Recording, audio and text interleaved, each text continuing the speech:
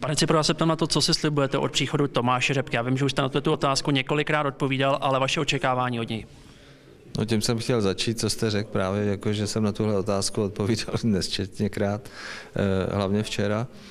Eh, nechci říkat fráze, ale samozřejmě od něj očekávám to, co asi očekávají všichni, že prostě eh, přinese klid do obrané fáze, že tam přinese zkušenost a hlavně dirigování, který nám v poslední době chybělo na hřišti, ale hlavně tedy v kabíně. No. Takže tohle si všechno od něj. Samozřejmě krom těch jeho standardních, doufám, i v těch výkonech, který bude pokračovat v Budějovicích. No. Jak proběhlo to představování, to uvítání Tomáše včera?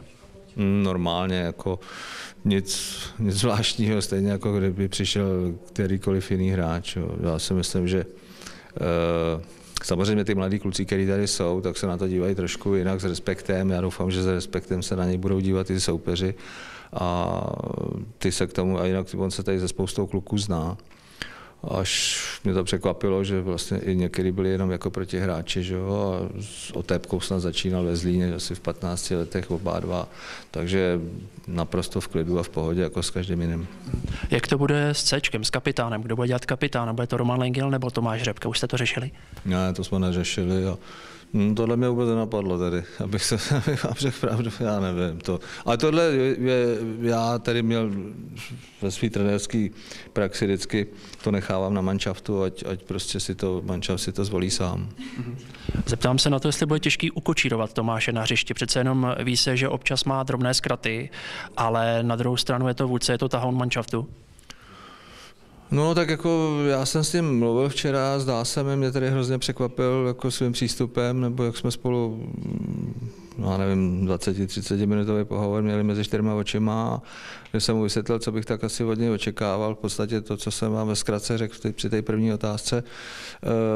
Uh, on mi řekl jako zase pár věcí, jak uh, s jakým, s jakým eh, cílem sem jde a tak dále. Takže mně se zdá, že jako se hrozně sklidnil, nevím, jestli prostě díky tomu čeká třetí dítě, všechno kolem něj byl mediální tanec teďka v poslední době, myslím, hlavně kolem nefotbalových věcí.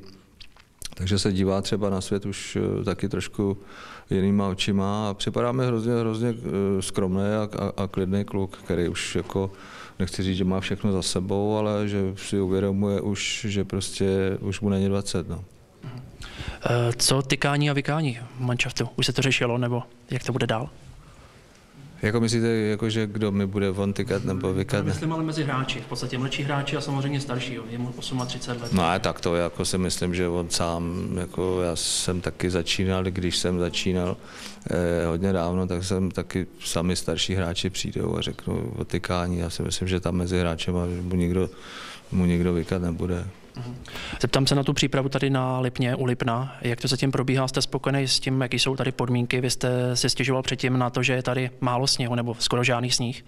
No ne, já jsem měl obavy takhle, málo sníh. Tam nešlo o to málo nebo hodně, tam šlo o to, že jsem měl strach, že tady bude pršet, jako všude, dole v jižních Čechách a, a že to tady umrzne, jo, že tady bude náledí.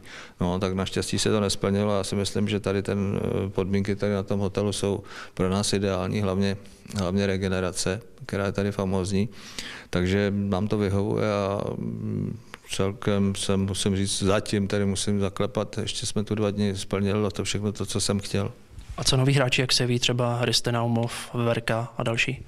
No, tak to ukážou až zápasy. No.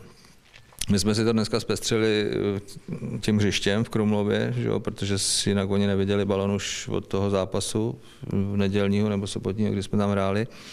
A tyhle ty zápasy teďka v sobotu, v neděli a pak další týden s Jabloncem ukážou, co dál. Zatím musím říct, že Hriste mě překvapuje, že svým přístupem, že se vůbec nebojí a jako po tom zranění, který měl příšerný, tak jako hraje, jako kdyby se mu nic nestalo.